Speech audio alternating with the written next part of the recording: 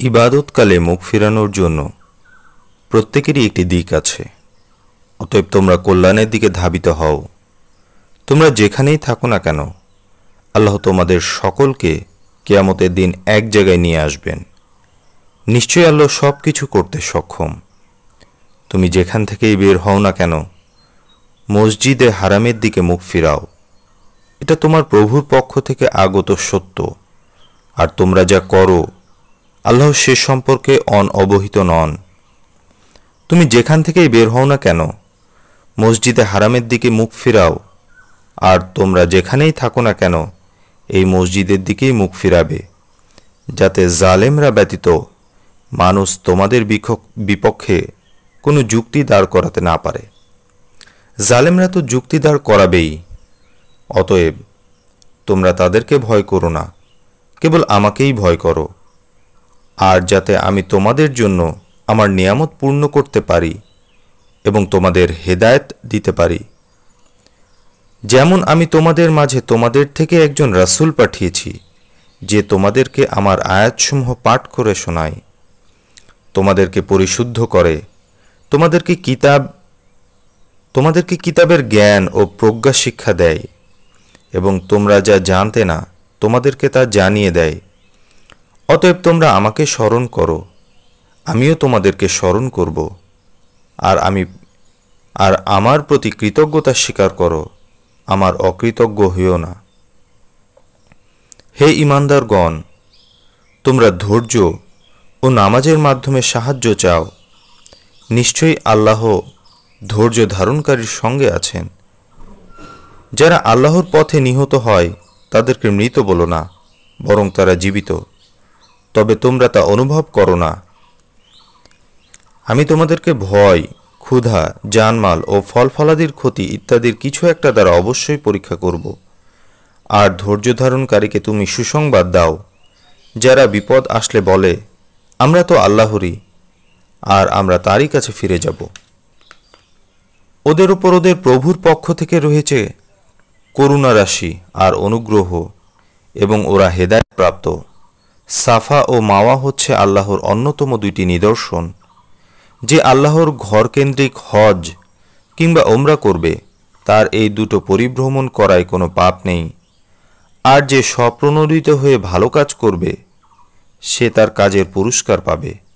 নিশ্চয়ই আল্লাহ যথার্থ পুরস্কারদাতা। সর্বজ্ঞাত। মানুষের জন্য কিতাবে স্পষ্টভাবে বর্ণনা করার পরও যারা আমার প্রেরিত প্রমাণসমূহ ও দিক নির্দেশনা গোপন করে, তাদেরকে আল্লাহ অভিশাপ দেন এবং অভিশাপ দাতারাও তাদের অভিশাপ দেন।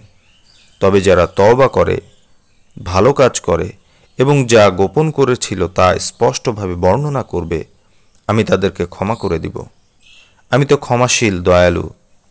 যারা কুফুরি করে এবং কাফের অবস্থায় মারা যায়, তাদের উপরে আল্লাহ ফেরেস্তাগণ ও সকল মানুষের অভিশাপ তারা ওই অভিশাপ নিয়েই চিরকাল থাকবে। না তাদের শাস্তি লঘু করা হবে, না তাদেরকে কোনো রকম ছাড় দেওয়া হবে। তোমাদের প্রভু এক প্রভু, তিনি ছাড়া অন্য কোনো প্রভু নেই। তিনি করুণাময়, দয়ালু। আসমান এবং জমিনের সৃষ্টিতে, রাত দিনের আবর্তনে, মানুষের উপকারী সামগ্রী নিয়ে জলে, জলপথে চলমান নৌজানে আল্লাহ আকাশ থেকে যে পানি বর্ষণ করেন তার সাহায্যে মৃতভূমিকে জীবিত করেন তাতে। তিনি ভূমিতে যেসব পশু প্রাণী ছাড়িয়ে দিয়েছেন, তাতে বাতাসের দিক পরিবর্তনে এবং আকাশ আর ভূমির মাঝে ভাসমান মেঘরাশিতে অবশ্যই বুঝমান লোকেদের জন্য নিদর্শন রয়েছে। কিছু মানুষ আছে যারা আল্লাহকে ছাড়া তার কতিপয় সমকক্ষকেও মানে যাদেরকে তারা আল্লাহকে ভালোবাসার মতোই ভালোবাসে। পক্ষান্তরে যারা ইমানদার, আল্লাহর প্রতি তাদের ভালোবাসা আরও বেশি। জালেমরা কঠিন হাসরের শাস্তির সম্মুখীন হলে, যেমন বুঝবে, তেমনি যদি এখন বুঝত যে সব শক্তি আল্লাহর এবং আল্লাহ কঠোর শাস্তিদাতা, তাহলে কতই না ভালো হতো।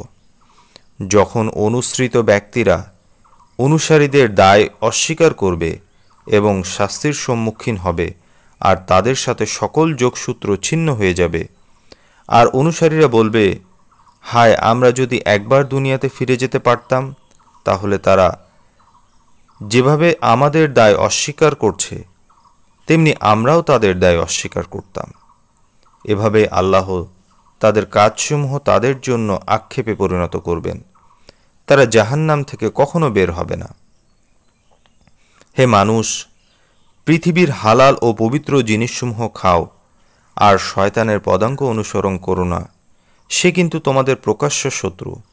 সে কেবল তোমাদেরকে অন্যায় ও খারাপ কাজ করতে বলে, আর আল্লাহ সম্পর্কে তাই বলে, যা তোমরা জানো না। যখন তাদেরকে বলা হয়, আল্লাহ যে বিধান নাজিল করেছেন তা মেনে চলো, তখন তারা বলে, আমরা তো তাই মেনে চলব, যা আমাদের বাপদাদারা মেনে চলে, যা আমাদের বাপদাদাদের মেনে চলতে দেখেছি। তাদের বাপদাদারা কিছু না বুঝে থাকলেও, কিংবা সঠিক দিক নির্দেশনা না পেয়ে থাকলেও কি তারা তাদের অনুসরণ করবে? কাফেরদের উদাহরণ হলো, যেমন এক ব্যক্তি কোনো কিছুকে চিৎকার করে ডাকে, কিন্তু যাকে ডাকে সে ডাক থেকে আর সম্বোধন ছাড়া আর কিছুই শুনতে পায় না। অর্থাৎ শুধু ডাকার শব্দই শোনে, কিন্তু ডেকে কি বলছে তা কিছু বুঝে না। তারা বধির মুখ ও অন্ধ, তাই তারা বোঝে না।